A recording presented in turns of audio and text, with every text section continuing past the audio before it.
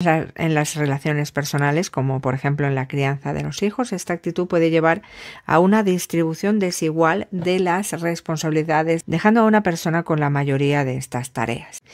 En el ámbito laboral podemos encontrar este, este, este tipo de incompetencia armada en el que las personas exhiben esa incompetencia y suelen ser poco productivas y pueden crear un ambiente tóxico en el trabajo.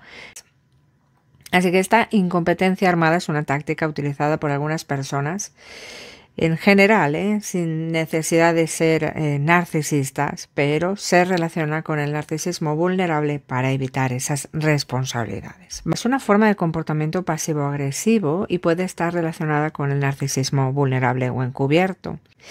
En el ámbito laboral podemos encontrar este, este, tipo, de, este tipo de incompetencia armada en el que las personas exhiben esa incompetencia y suelen ser poco productivas y pueden crear un ambiente tóxico en el trabajo y en, las relaciones personales, como por ejemplo en la crianza de los hijos, esta actitud puede llevar a una distribución desigual de las responsabilidades, dejando a una persona con la mayoría de estas tareas.